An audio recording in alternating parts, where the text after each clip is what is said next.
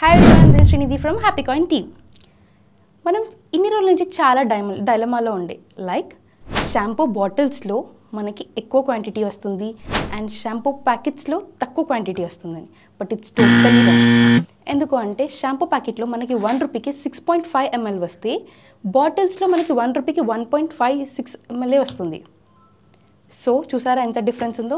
One point one రూపీకి one point one six five M L వస్తే ఇక్కడ మనకి ప్యాకెట్స్లో one రూపీకి six point five M L వస్తుంది.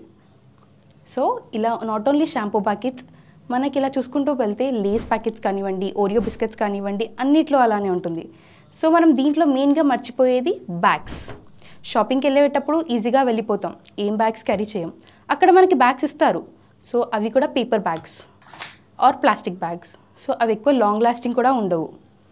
And plastic bags are not eco friendly కూడా. So అలాంటప్పుడు we can use jute bags jute bags అనేటివి మనకి eco friendly and one time ఇన్వెస్ట్మెంటే కానీ లాంగ్ లాస్టింగ్ అనేటివి ఉంటుంది.